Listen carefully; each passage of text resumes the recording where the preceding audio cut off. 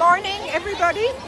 Today is the sixth day of food distribution. We're on 12th of May 2021. We're here in Kamalahali, Bangalore, the IT capital of um, India.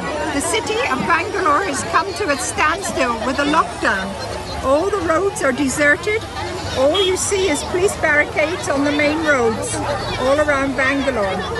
We are distributing 144 bags today. Our frontline team has worked hard to get the bags ready for delivery. The school staff has also worked hard to get all the signatures of the parents and have issued tokens to make sure that there is no confusion when it comes to the final delivery. For the last 15 years, we've been working in this community. Most of the people are work as daily laborers. Due to the lockdown, none of them can go to work and are compelled to stay home. Some mothers work in apartments as helpers for a couple of hours a day, but due to the spike in COVID cases, no one wants workers coming into their homes. Everyone is staying home, staying safe.